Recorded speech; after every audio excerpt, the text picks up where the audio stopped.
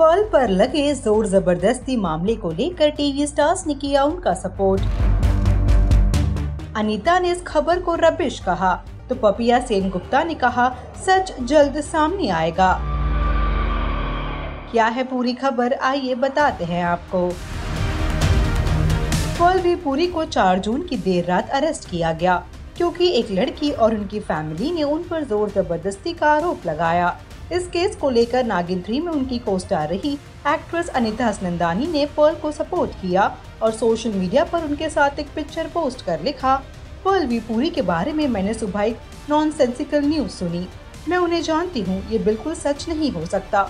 सब झूठ है, सच बहुत जल्द सामने आएगा। एज इस में बहुत कुछ और है, ये मैं जानती हूँ। Love you Pearl. Hashtag I stand with Pearl. वहीं ब्रह्म राक्षस टू में उनके साथ स्क्रीन स्पेस शेयर करने वाली एक्ट्रेस पपिया सेन गुप्ता ने भी पोल के लिए एक पोस्ट लिखा है। एक्ट्रेस ने लिखा, मैं जानती हूँ ये सच नहीं है। मैं पोल को जानती हूँ और मुझे भरोसा है कि ये बात सच नहीं हो सकती।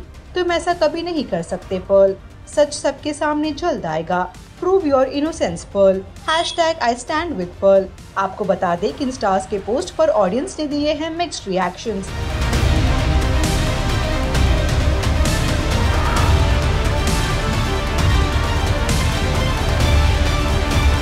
आपकी क्या राय है इस खबर पर?